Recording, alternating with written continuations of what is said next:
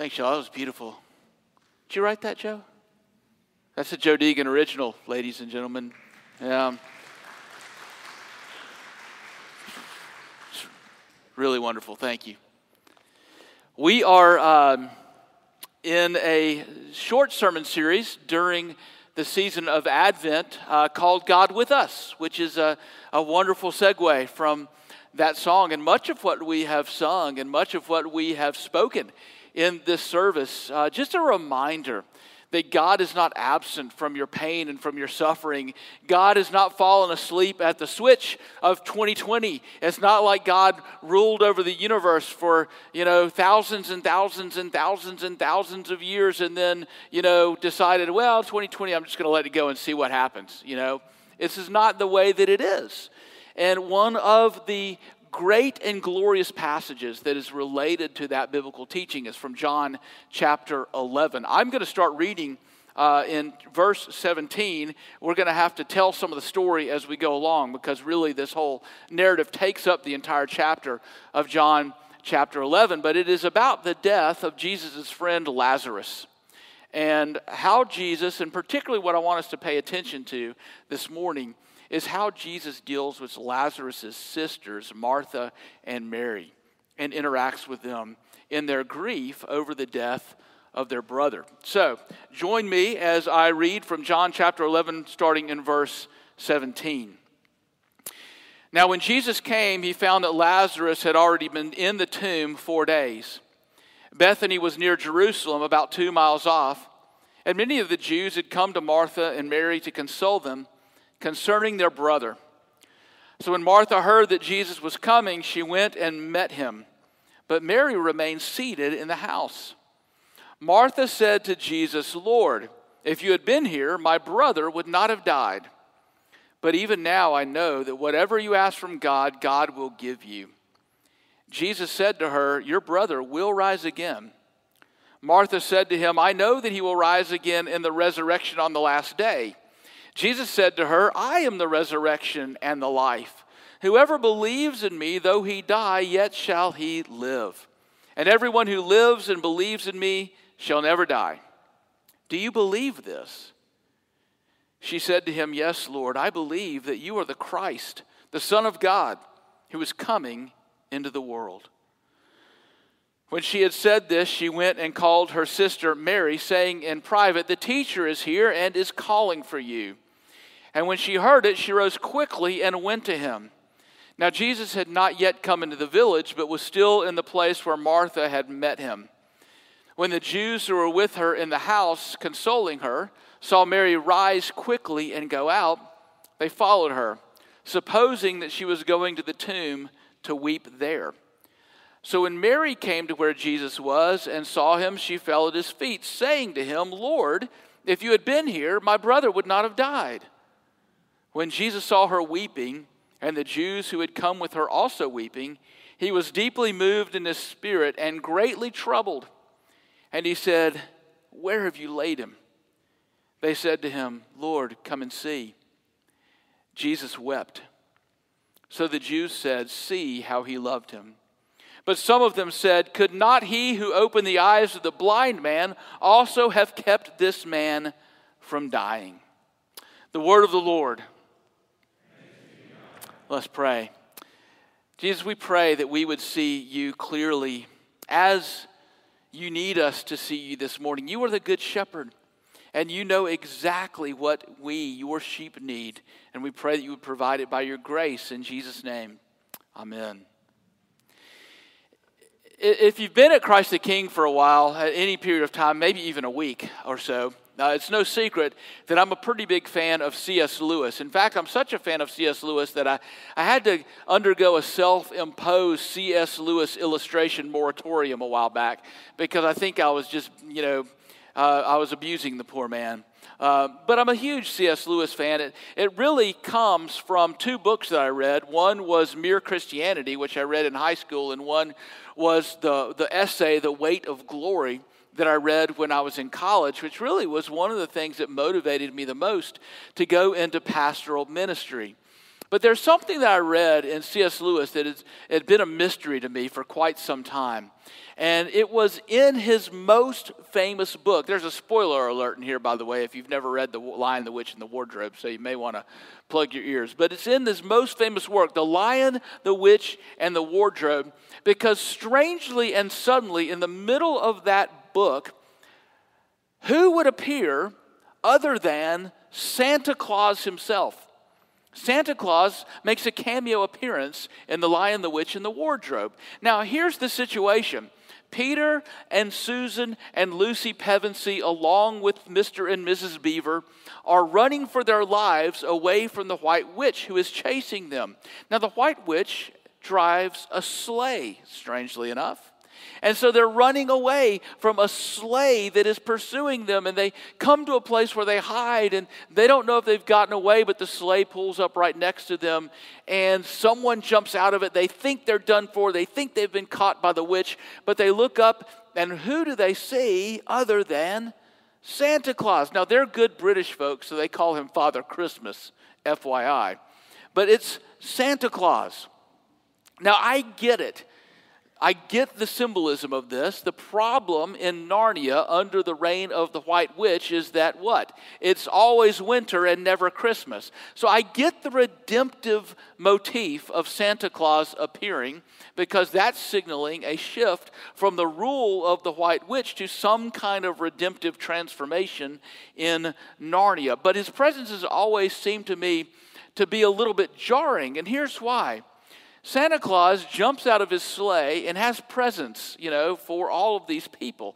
He gives to Peter a sword that he can use to, to lead and to, and to fight his battles. He gives uh, to Susan a horn that she can blow whenever she's in trouble that would rally the troops. And she also gives, he also gives Susan a bow and arrow, which she becomes proficient at and he gives even Lucy a small dagger and a vial of medicine that will heal wounds. But here's the weird part about it is that he gives these presents and then he's like, "Okay, I'm out." And then he gets in his sleigh and he leaves again. And I think one of the reasons why this was disorienting to me is probably because it was a little bit too close to home in how I see God, right? Basically, in many respects, I think a lot of us think that God is largely absent. We may not confess that, we may not believe it, but we live our lives that way. He's just kind of out there doing his thing, and we're here living our lives. But every now and then, God makes a cameo, right? He pops in. He reminds us that He's there. Maybe He gives us something, and then God looks at His watch and says, Oh, dear, is that the time? You know, gotta go. And He leaves you alone again we think of God very often as mostly absent. Maybe he'll pop in, maybe he won't. We kind of never know, right? In 2005, the sociologist Christian Smith wrote a book about teenagers and their religious beliefs in America. Um, and he did a ton of interviews. And after doing all of these interviews with all of these teenagers who profess to be Christians, Christian Smith coined a term that has become somewhat famous because basically he said that the religious belief of teenagers in America who claim to be Christians in 2005 can be described as moralistic therapeutic deism. Moralistic therapeutic deism. And what he means by that is that what he was discovering that these young people believed about their religious life, about their faith, was that basically Christianity is mostly about being a good person as you define what it means to be a good person. So it's moralistic in that sense.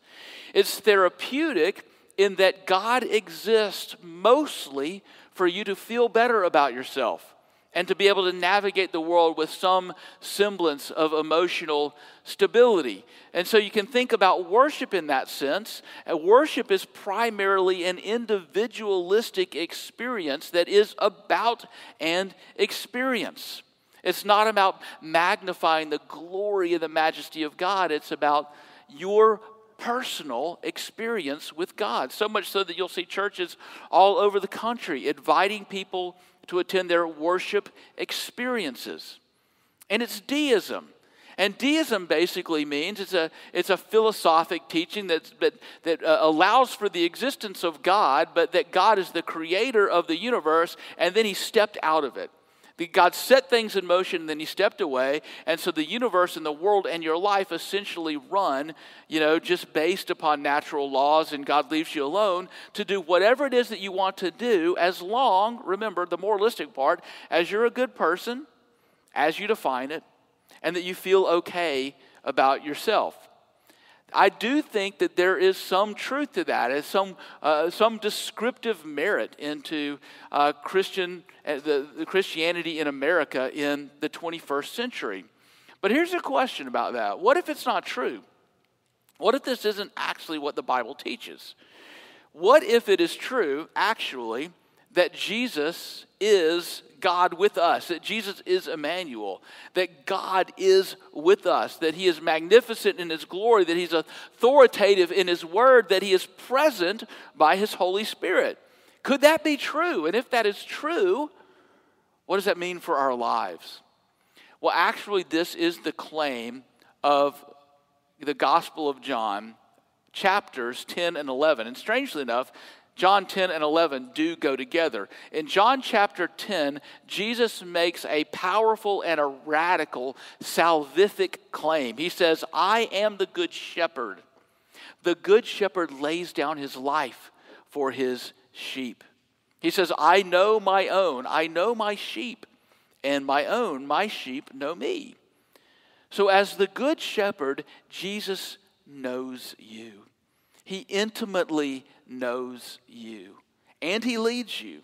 In John chapter 11, Jesus shows us what this means in real life, particularly in the hard parts of real life, particularly as it relates to the great enemy of death in the world and the profound grief that comes from it. How is it that Jesus leads us? How is it that he is present with us in the difficult times of our life? Well, John 11 gives us two ways. He's present with us in the truth, and he is present with us in his presence. He leads with truth, and he leads with presence. Jesus leads with truth. And so here we need to set the stage a little bit for what's going on in this passage that we just read.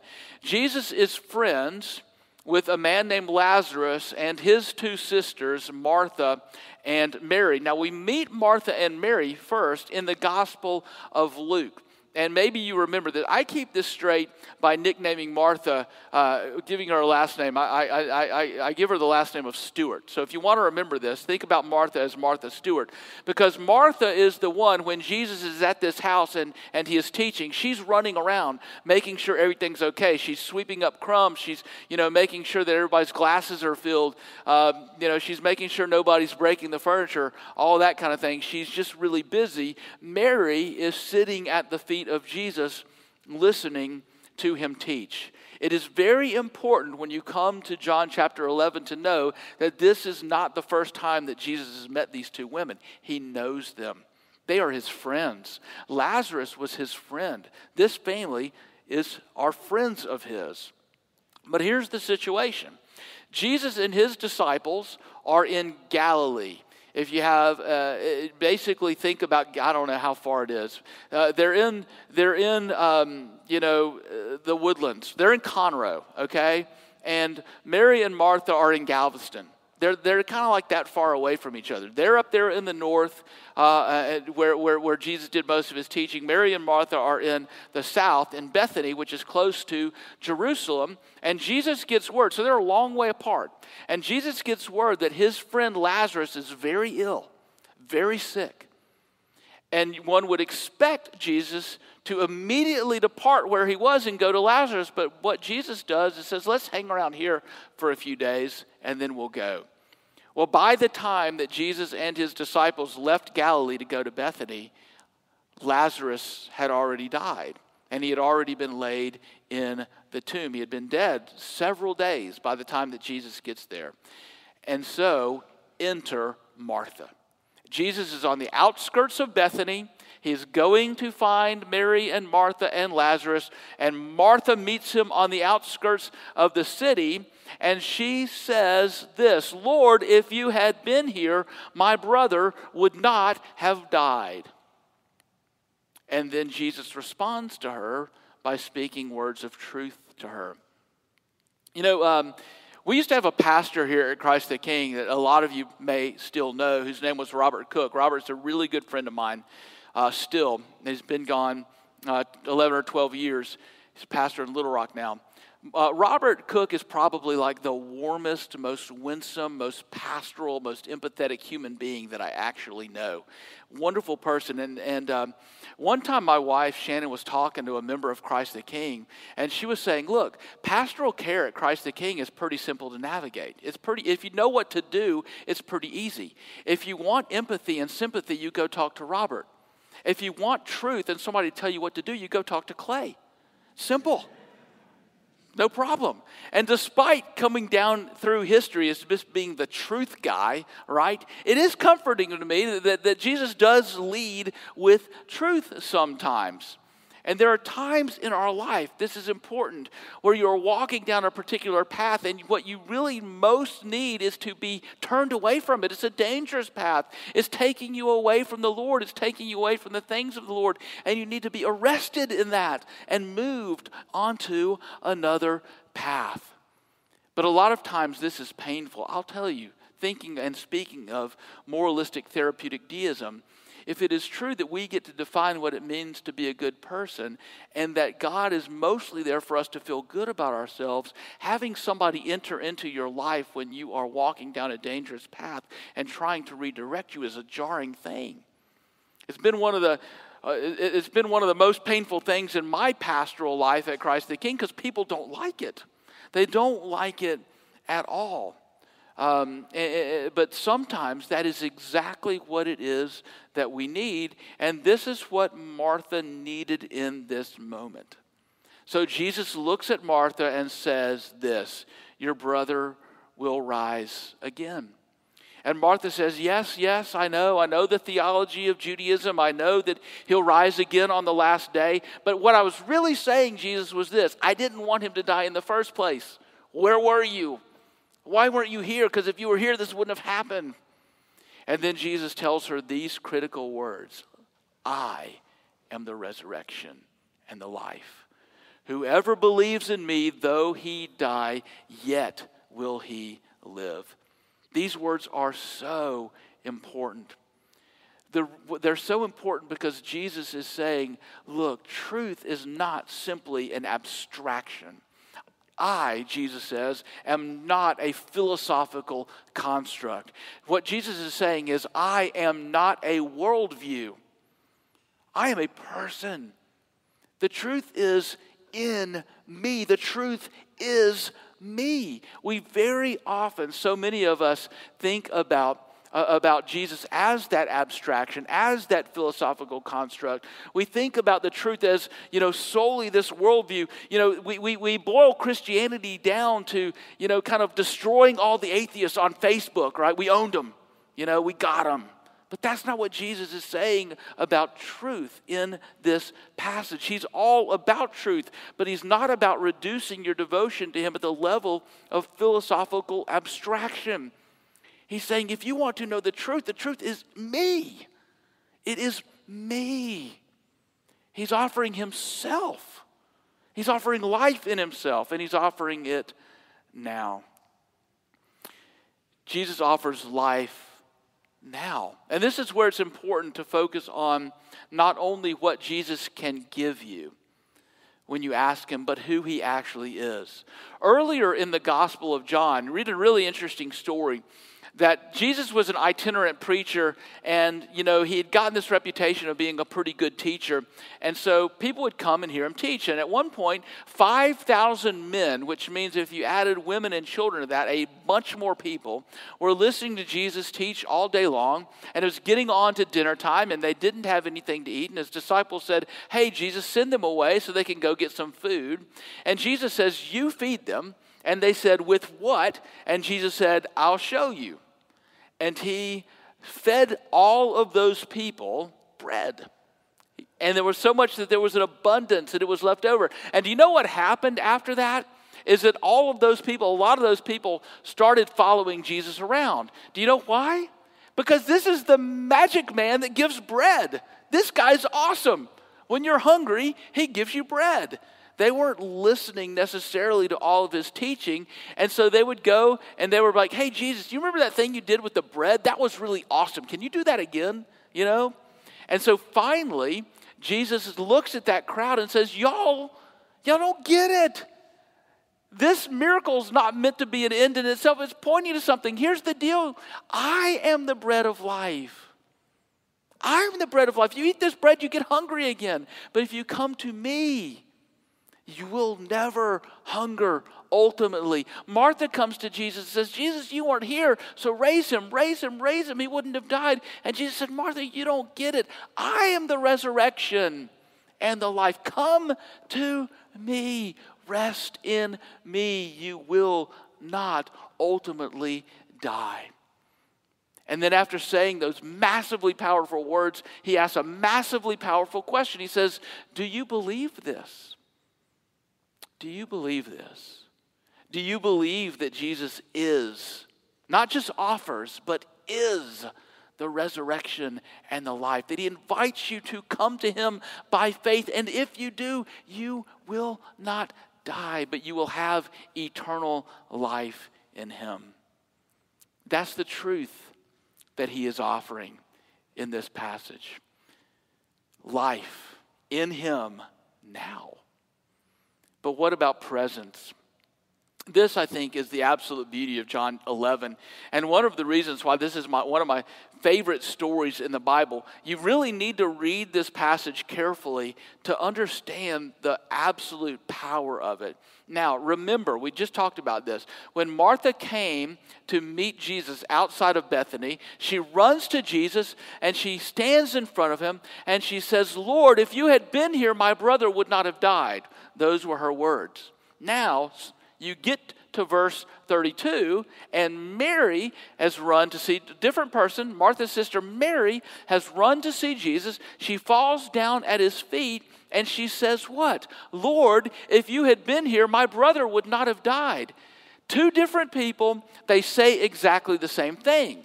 Same words, Lord, if you had been here, my brother would not have died. So, what are you expecting right now? You're probably expecting Jesus to take a deep breath, maybe to sigh, and say, Your brother will rise again. To say exactly the same thing to Mary that he had just previously said to her sister Martha. But that is not what Jesus does. He actually could barely choke out any words at all. And basically, all he's able to get out in verse 34 these is a question Where have you laid him? And Mary leads Jesus to the tomb. He doesn't speak, he doesn't say a word. He weeps. So Martha runs to Jesus and says to him, Lord, if you had been here, my brother would not have died. And Jesus teaches her Mary runs to Jesus, falls down at his feet, and says, Lord, if you had been here, my brother would not have died. And Jesus weeps.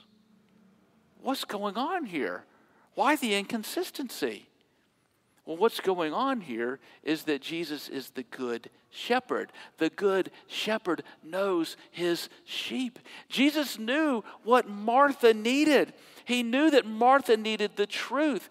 Jesus knew what Mary needed. He knew that Mary simply needed his presence and his tears. And here, you simply must see and wonder in awe at the tender care and love of Jesus. The tender care that Jesus expresses for his sheep who are in pain.